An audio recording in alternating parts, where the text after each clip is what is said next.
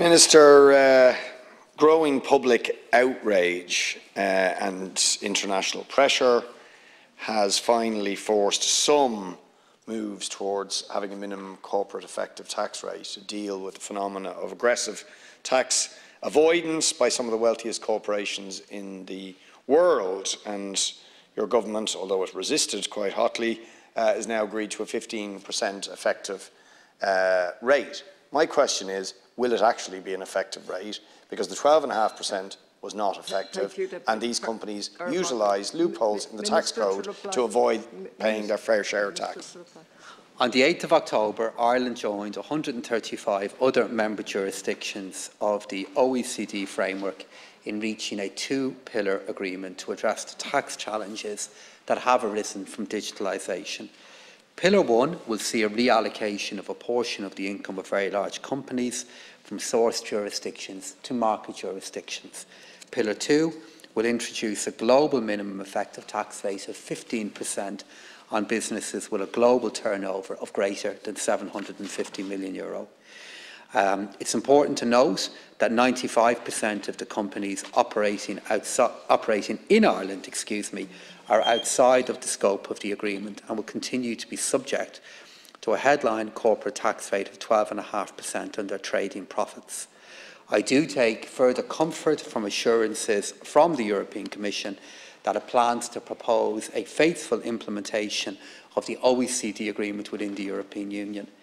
As regards the suggestion that companies currently pay far less than the 12.5% headline rate, I'd like to remind the House of the published statistics of the Revenue Commissioner that show for the year 2019, which is the most recent period analysed, that companies paid an effective corporate tax rate of 10.3% with foreign-owned multinationals paying an even higher rate.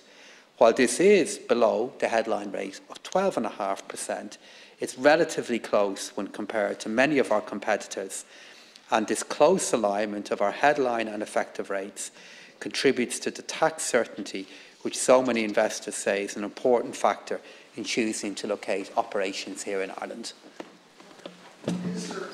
Figures you're referring to, and I have them in front of me, do not say what you just said. What they say for 2019 is that there was 195 billion worth of pre-tax profits before deductions and allowances, and that 10 billion was paid on that. That is not, uh, that's not 10% or anything like it. It's 5.6%. The reason you can claim that it's 10% is because about 84 billion of their pre-tax profits are not taxed at all because they benefit from deductions, allowances and reliefs. And it is in that area that these companies have exploited loopholes in the tax code to write down their taxable profits. So they end up paying uh, tax on only about half of their actual profits, mostly through uh, intergroup transactions, paying themselves royalties uh, and paying for the use of patents from their own company, uh, which is a scam. Um, so my point is, how are we going to actually make them pay you, the effective rate? So I have the figures here in front of me as well, Deputy, and I'm sure I got them from the same place that you did. And you are correct in the sense that uh, uh, uh, credits and deductions are used, uh, but that's not the same as tax avoidance. That's where we differ. A credit, for example, with regard to uh, recognising research and development, is not tax avoidance. It is a legitimate way of a tax code recognising that something is happening inside our country that is valuable, that can create employment and create investment. And uh, uh, it's a common feature of uh, business and corporate tax policies all over the world. Uh, and the figures, I'm sure, from the same website and same publication that you have them, are very clear. Um, all companies had an effective tax rate of 10.3%, foreign-owned multinationals 11.1, US-owned multinationals 11.5. Uh, the allowances that they use and by the way, I want to preempt what will probably be your last comment by saying I think we value the jobs from these companies that, they bring to this country. Uh, they do create employment, and we want those jobs here. That doesn't mean they can't pay their fair share of tax. But the major reliefs and allowances they benefit from are intra-group transactions worth 16 billion in the year 2019 as a cost to the exchequer, also from revenue figures, uh, and from amalgamations uh, and from losses brought forward and other reliefs like that, not our R&D, the big ones. And that's where they're paying themselves money, which is profit, but writing it off as a cost.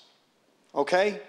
It'd be like me saying, oh, my ma came up with a brilliant idea, uh, and uh, I have to pay her for that brilliant idea, and then I claim that as a deduction off my income tax. Right? Revenue would laugh me out, out of the room. But that's what these corporations are doing. They're writing their own tax bill, and you know it right? And the OECD know it. You, That's why there's a reform process. Minister, what are we going to do to make sure they pay an effective rate? Minister, So I think in your effort to preempt what I was going to say, we had a bit of a hallelujah moment there, because I think you just said you value the jobs that are here, which I think is the first time, Deputy, in our years of debating this, that I've heard you say that. So I think we've had a little bit of a breakthrough in this debate between you and me.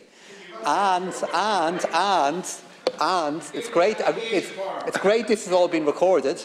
Uh, and if you do value them, uh, surely you can then understand uh, why that uh, we want them in our own country and we need to have a tax code that is competitive, which is why we've had this debate regarding the low rate.